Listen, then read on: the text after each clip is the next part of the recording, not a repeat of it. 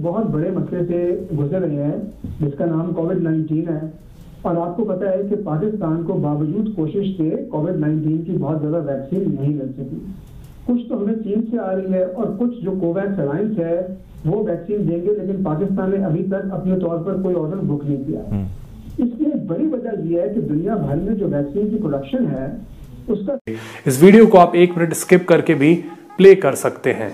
नमस्कार दोस्तों, कैसे हैं आप लोग? हम फिर से वापस आ चुके हैं एक नए वीडियो के साथ। तो गाइज़ अगर आपने अभी तक हमारा चैनल सब्सक्राइब नहीं किया है तो प्लीज़ सब्सक्राइब कर लीजिए और इस हमारी बेल आइकन को भी दबा दीजिए। इस वीडियो को लाइक करिए कमेंट करिए और अपने फ्रेंड के साथ फैमिली के साथ इस वीडियो को शेयर करिए।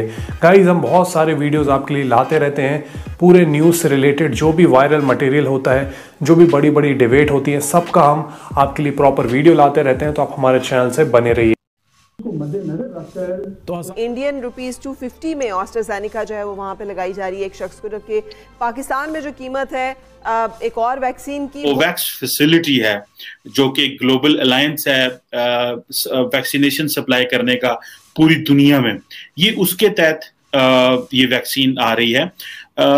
सवाल ये नहीं है कि किसके तहत आ रही है सवाल ये है कि वैक्सीन पाकिस्तान आ रही है।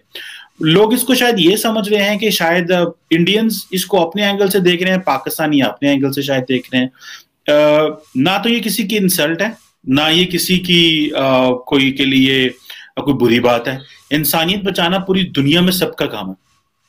तो जो पाकिस्तान की ड्रग रेगुलेटरी अथॉरिटी है, उसने ऑलरेडी जो ऑक्सफोर्ड की जो है वो आस्ट्राजेनिका कोविड वैक्सीन है, वो एमरजेंसी अप्रूव के लिए एमरजेंसी के लिए ऑलरेडी अप्रूव कर दी है जनवरी से।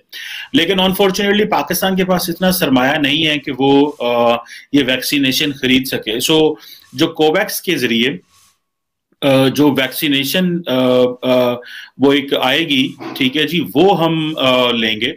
और इंडिया ऑलरेडी एक 65 कंट्रीज़ में तकरीबन जो डिफरेंट कैटेगरीज में वैक्सीनेशन दे चुका है। कहीं पे वो ग्रांट में दे चुके हैं, कहीं में फ्री ऑफ़ कॉस्ट दे चुके हैं कहीं पे वो कमर्शियल सेल्स के लिए भी दे चुके हैं। और मुझे तो ये भी पता चला है कि इंडिया के कुछ जो वैक्सीन मेकर उन्होंने डायरेक्ट पाकिस्तान से रबता किया है। आ, मैं पर्सनली अपनी ज़ात की हद तक ये समझता हूँ कि अगर एक वैक्सीन कहीं पे बनी है वो जान को की हिफाजत के लिए है और अगर मुझे चाहिए किसी इंसान को चाहिए तो वो क्यों नहीं मिलनी चाहिए? वो कहीं से भी आ रही हो तो इसमें कोई इंसल्ट वाली बात नहीं है। इंडियंस इसमें बड़ा सुपरियरिटी कॉम्प्लेक्स शो कर रहे हैं। आ, मैंने काफ़ी इंडियन मीडिया को देखा है और आ, मुझे भी एक दो चैनल से आई कॉल इसके लिए। तो आ, ये चलता रहता है ये होता है और मैं समझता हूँ बड़ी अच्छी बात है। मैंने पहले भी इसके लिए ये कहा था कि इंडिया की जो मेडिकल कम्युनिटी है वो धात की मुस्तक है। देखिए इस वक्त तकरीबन ये कहा जा रहा है कि इंडिया के जो फॉरेन ऑफ़िस है, वो कह रहा है कि तकरीबन पौने छह लाख डोजेस से ज़्यादा जो है, वो वैक्सीन जो है वो पौने छह लाख नहीं इससे ज़्यादा, छह लाख डोजेस पौने छह लाख जो डोजेस हैं वो सप्लाई हो चुकी हैं। और जिसमें तकरीबन उन्होंने तकरीबन एक लाख तिरसठ हज़ार lakh, one sixty three lakh जो जो डोजेस हैं, वो सिर्फ़ कोवैक्स में भेजी हैं। मैंने गलत कहा व्यूअर्स मैंने कहा था पाँच लाख डोजेस सॉरी अगर मिसअंडरस्टैंडिंग हो गई तो कोवैक्स के तहत भी इन्होंने काफ़ी जो वैक्सीन भेजी हैं, बल्कि यूएन के जो परमानेंट वो जो है पीस कीपिंग के लोग, उनको भी इन्होंने वो वैक्सीन भेजी हुई है। So this is something really wonderful I I think we should appreciate India for this कि उन्होंने ये वैक्सीन बनाई वो इसको पूरी दुनिया में ट्रांसफ़र कर रहे हैं। और आपको पता है कि जो कोवैक्स है अब इंडिया ने अगर कोवैक्स में वो वैक्सीन दी है कि वो डिस्ट्रीब्यूशन होगी। अब कोवैक्स का फॉर्मूला ये है कि वो कहते हैं कि हमने जो दुनिया के एक सौ नब्बे ममालिक हैं उनमें 20 परसेंट लोगों जो पॉपुलेशन है उसको कवर करना है। सो so, पाकिस्तान की 20 परसेंट पॉपुलेशन जो चार पाँच करोड़ के करीब बनती है वो कवर करेगा और कोविक्स कवर करेगा इसमें तो। लेकिन वो थोड़ा सा टाइम लगेगा। इंडिया के अंदर खुद जारी बात है बहुत बड़े पैमाने पे ये वैक्सीनेशन दी जा रही है। और आ, आ, मेरे सुनने में तो ये आ रहा है कि इंडिया तकरीबन जो 20 लाख डोजेज जो हैं वो एक सिंगल डे में उन्होंने दी हैं। और इससे भी ज़्यादा वो सोच रहे हैं कि हमें ये वैक्सीनेशन देनी है। So it's not a sort of एक आप ये कह लें कि कोई वो नहीं है कि ये कोई इंसल्ट नहीं है किसी की कि हमें अगर वैक्सीनेशन भारत से आएगी तो हमें आ, हमारी इंसल्ट हो जाएगी। मैं समझता ये हूँ कि भारत से तो बहुत ज़्यादा वैक्सीनेशन पहले ही पाकिस्तान आ रही है। भारत तो ऑलरेडी ट्रांसपोर्ट कर रहा है वैक्सीनेशन हमें क्योंकि हमने वो जो वैक्सीन है वो आ, वो कुत्ता काटने की वैक्सीन हो वो सांप काटने की वैक्सीन हो या कुछ और जो रैबिट की जो वैक्सीन होती हैं जो होती हैं वो हमें ऑलरेडी मिल रही हैं। सो so, हमें इस का वेलकम करना चाहिए और इससे कोई वो नहीं होना चाहिए कि जी वो इंडिया क्यों हमें ये वैक्सीन दे रहा है और हमें आ, आ, जो है वो हमें हमें इंतज़ार करना चाहिए अपनी वैक्सीन का। अगर हम अमेरिका से वैक्सीन ले सकते हैं, इंग्लैंड से ले सकते हैं और यूरोपियन यूनियन से ले सकते हैं तो इंडिया से क्यों नहीं ले सकते? असल चीज़ तो जान बचाना है। जान किसी की भी हो, मुसलमान की हो, हिंदू की, ईसाई की, जू की, सब बराबर जाने हैं। सो ये चीज़ हमें थोड़ी सी इस चीज़ को अवॉइड करना चाहिए और हमें रिस्पेक्ट करना चाहिए, इस वक्त जान की रिस्पेक्ट करनी चाहिए।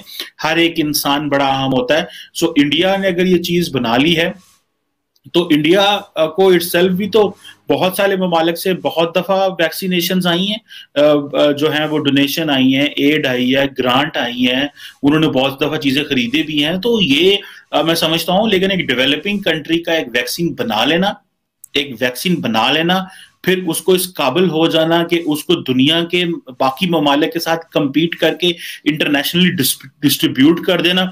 मैं समझता हूँ कि ये एक बहुत बड़ी चीज़ है और आ, आ, जो इसको रिस्पेक्ट करना चाहिए। इंडिया आपको पता है कि ऑलरेडी सिक्सटी परसेंट जो वैक्सीन है ग्लोबली वो तो इंडिया बना रहा है।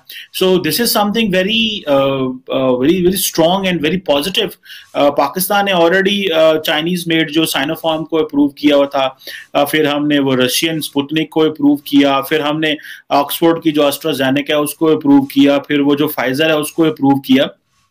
सो uh, so मैं समझता हूँ कि जैसे पाकिस्तान में आज उन्होंने दोबारा स्कूल बंद कर दिए हैं। हमारे जहाँ में हम इस्लामाबाद में रहते हैं यहाँ भी यूनिवर्सिटियाँ कॉलेज बंद हो गए हैं। तो जब तक ये लॉन्ग टर्म हम वैक्सीनेशन नहीं लेंगे हम किस तरह जो है वो स्कूलों में जा सकेंगे? चाइना ने तो पाकिस्तान को सिर्फ़ एक मिलियन वैक्सीन दी है।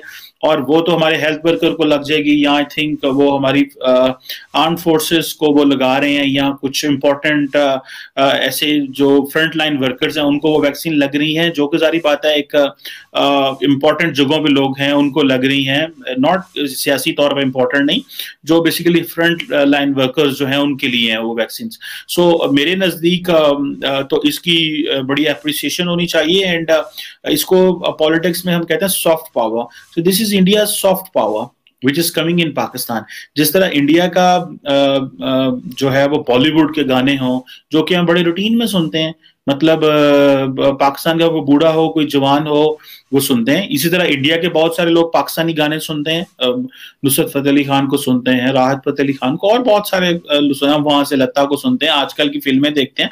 So this is something very encouraging for the Indians so uh, मेरा ख्याल है कि ये जो चीज़ है ये हमें समझनी चाहिए कि और दूसरा इसमें कोई शर्मिंदगी वाली बात इसलिए भी नहीं है कि नब्बे फ़ीसद जो वैक्सीन पाकिस्तान में ऑलरेडी लगती हैं वो सारी तो इंडिया से आती हैं। So this is not what I am तो दोस्तों, आपने सुना कमर चीमा के मुँह से भारत बहुत जल्दी पाकिस्तान को वैक्सीन देने वाला है। आपको बता दें कि ये वैक्सीन भारत डायरेक्टली नहीं देने वाला है। ये वैक्सीन पाकिस्तान को मिलेगी गावी के थ्रू। गावी एक संगठन है जो गरीब देशों को वैक्सीन पहुँचाने का काम करता है तो थर्ड पार्टी बनेगा गावी। आपको बता दें, पाकिस्तान ने भारत से वैक्सीन नहीं मांगी थी। ना भारत ने पाकिस्तान को वैक्सीन ऑफ़र की थी। भारत ने पाकिस्तान के अलावा जितने भी पड़ोसी देश हैं, सभी को वैक्सीन प्रोवाइड करा दी है। आपको बता दें, भारत के पड़ोसी देश जैसे कि अफ़गानिस्तान, श्रीलंका, नेपाल, बांग्लादेश, म्यांमार मालदीप और और कौन से हैं आप भी समझ सकते हो, जैसे कि आसपास जो भी बचे हैं। वो सभी देश, भूटान भी है और मालदीप के अलावा सेसेल्स भी बहुत दूर है, उसे भी पहुंचाई गई और बहुत सारे देश, लगभग 80 देशों तक अब भारत की वैक्सीन पहुँच चुकी है। और ये भारत के लिए बहुत बड़ी बात है। दोस्तों, आपको बता दें, पाकिस्तान के इमरान खान का एटीट्यूड इतना ज़्यादा है कि उसने भारत से वैक्सीन मांगी ही नहीं। और आपको बता दें कमर चीमा ने वैसे ही बता दिया कि वैसे भी पाकिस्तान भारत से इतनी ज़्यादा दवाइयाँ लेता है तो कोरोना वैक्सीन आ जाएगी तो उसमें नया क्या है? पैस मतलब आप समझ सकते हो। अब इसके पास डिफेंड करने के लिए कुछ है नहीं। हालाँकि as a Indian we should proud but we should not मतलब एक सुप्रेशी, क्या बोल सकते हो आप? मतलब उसमें हमें घमंड नहीं करना चाहिए कि हम पाकिस्तान को वैक्सीन दे रहे हैं, सालों तुम लोग बम बनाते हो, हम तुम्हें वैक्सीन देते हैं। हालाँकि ये बात होनी भी चाहिए, ऐसी बात नहीं है, इनको इनको थोड़ा शर्मशार करना ज़रूरी भी है। लेकिन एक बात भी ज़रूरी है कि हम, ये वैक्सीन किसी मतलब क्या बोले आप, समझ सकते हो, किसी दया के भाव से दे रहे हैं। इस तरीके की बात कर रहे हैं तो तो ज़रूरी भी है, ठीक है, चली गई पाकिस्तान को। आपको क्या लगता है? कमेंट बॉक्स में ज़रूर लिखें। आपको ये वीडियो कैसा लगा? कमेंट बॉक्स में ज़रूर लिखें।